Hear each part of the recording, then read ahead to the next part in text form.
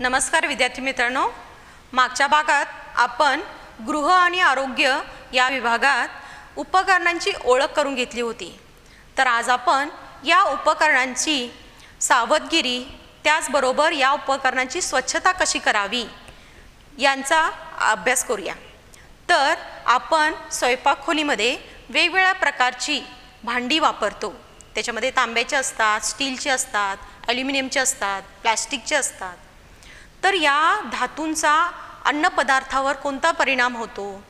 कोणती भांडी वापरावीत? याबद्दल आपण माहिती घेऊया. तर सर्रास तांब्याची जी भांडी आहे तांबे किंवा पितळची भांडी जी आहे ती भांडी उष्णता वाहक असतात. कारण ती धातू आहेत ती उष्णता वाहक असतात.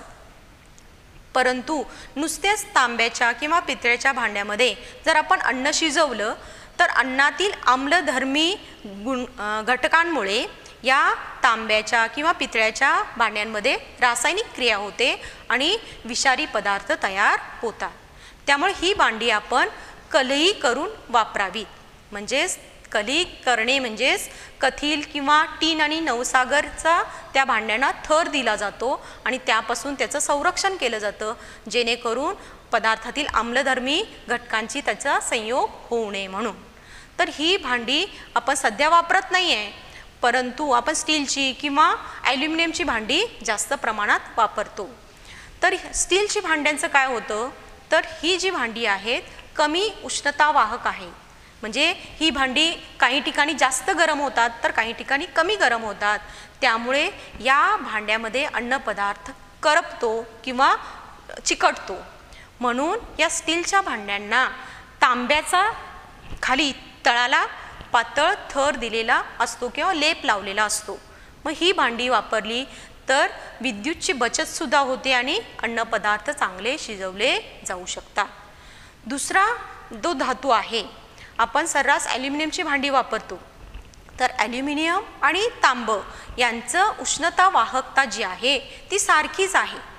परंतु या ॲल्युमिनियमच्या भांड्यामधील जर आपण अन्न शिजवलं तर ॲल्युमिनियमचा काही जे घटक आहेत ॲल्युमिनियमचा धातू जो आहे तो अन्नपदार्थात शिरण्याची शक्यता जास्त असते आणि त्यामुळे आपल्या शरीरात न कळत ॲल्युमिनियम जाण्याची शक्यता असते.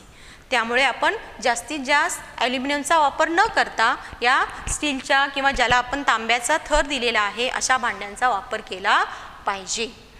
पुढचं जे आहे काही वेळेला आपण लोखंडी साधनंसुद्धा वापरतो. उदाहरणार्थ पोळ्या करण्यासाठी तवा किंवा कढई मोठी कढई असू देत किंवा लोखंडी पळी असू देत. तर ही जी उपकरणं आहेत ती उपकरणं आपण वापरल्यामुळे काही प्रमाणात लोह जे आहे ते आपल्या शरीरात अन्नपदार्थातून जाऊ शकतं. मात्र ही हे जे घटक आहेत ते गंजू नये याची आपण खबरदारी घेतली पाहिजे.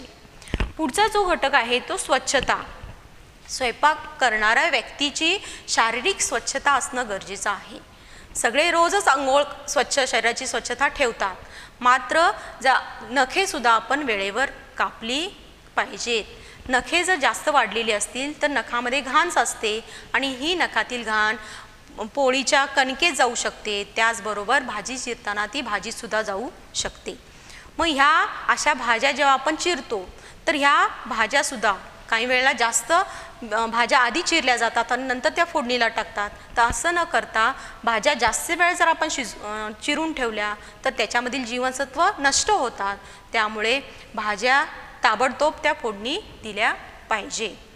पुढचा भाग जो आहे या भाज्यांसाठी आपण जी उपकरणे सुरी असू देत किंवा चॉपर असू देत ही उपकरणं वापरतो. तर त्या उपकरणांवर सुद्धा आपण ताबडतोब ती स्वच्छ केली पाहिजे. नाही तर त्या त्या उपकरणांवर सुद्धा काय होतो? सूक्ष्मजीवांची वाढ लवकर होते आणि ती उपकरणं खराब होऊ शकतात. पुढचं सूक्ष्मजीवांची वाढ आपल्याला बघायची आहे. तर ही जी सूक्ष्मजीव प्रत्येक अन्नपदार्थात जर सूक्ष्मजीव काही थोड्या प्रमाणात असतातच सर सूक्ष्मजीवांच्या वाढीसाठी योग्य जे तापमान आहे ते तापमान पंधरा डिग्री सेल्सिअस ते एकोणपन्नास डिग्री सेल्सिअस इतकं असतं.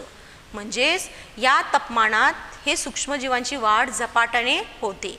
मग आपल्या खोलीचं तापमान जे आहे ते सदतीस डिग्री छत्तीस सदतीस पस्तीस डिग्री सेल्सिअसपर्यंत असतं. मग या तापमानात सूक्ष्मजीवांची वाढ जलद झपाट्याने होत असते.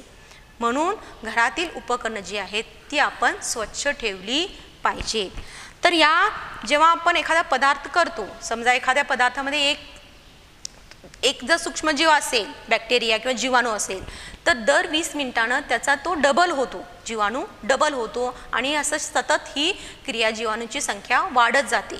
त्यामुळे दूध मांस दुधाचे पदार्थ जे आहेत दही तूप लोणी वगैरे किंवा मांस मांसाचे प्रकार जे आहेत ते सगळे लवकर खराब होण्याची शक्यता असते. कारण याच्यामध्ये सूक्ष्मजीव जीवांची वाढ जी आहे ती जलद गतीने होते. म्हणून नेहमी आपण हे पदार्थ काय करतो? फ्रीजमध्ये ठेवतो. तर फ्रीजमध्ये किंवा शीतपट पेटीत ठेवणे म्हणजे काय? तर सूक्ष्मजीवांची वाढ जी आहे क्रिया जी आहे या सूक्ष्मजीवांची क्रिया हे पंधरा डिग्री सेल्सिअस ते एकोणपन्नास डिग्री सेल्सिअसपर्यंत हे अतिक्रियाशील असतात. आणि नंतर कमी तापमानामध्ये कारण फ्रीजचं तापमान कमी असतं. कमी तापमानामध्ये सूक्ष्मजीवांची क्रिया मंदावते कमी होते. त्यामुळे ते तिथं हालचाल करू शकत नाहीत किंवा त्यांची वाढ होऊ शकत नाहीत किंवा ते सूक्ष्मजीव पुन्हा पुन्हा प्रजनन करू शकत नाही. त्यामुळे फ्रीजमधील साहित्य व्यवस्थित राहू शकतं.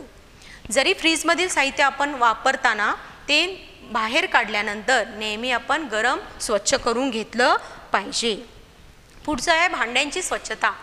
आपण जी स्वयंपाकासाठी भांडी वापरतो ती भांडी स्वच्छ धुतली गेली पाहिजे. योग्य साबणाने किंवा लिक्विड सोपनं ती धुतली गेली पाहिजे. काही भांडी जी आहेत आपण जर गरम पाण्याने स्वच्छ केली तर ती भांडी जास्त स्वच्छ होऊ शकतात. तेलकटपणा नष्ट होऊ शकतो. त्यामुळे अशी भांडी आपण या गरम पाण्याने धुतली गेली पाहिजे.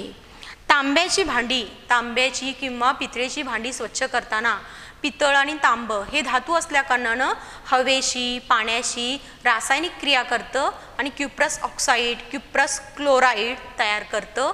त्यामुळे ही त्यांच्यावर काळपट किंवा हिरवट थर चढलेला आपल्याला दिसून येतो.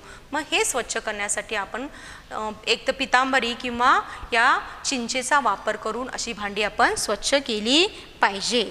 तर या स्वयंपाकासाठी उप जी उपकरणं आपण वापरतो त्या उपकरणामध्ये मिक्सर असू देत ओव्हन असू देत या उपकरणांचा सुद्धा आपण योग्य वेळी ती स्वच्छता केली पाहिजे त्यांची निगा राखली पाहिजे आणि त्यांचा योग्य वापर केला पाहिजे. तर याच्या नोट्स मी तुम्हाला देणार आहे. प्रश्नोत्तर त्याच्याखाली लिहायचे आहे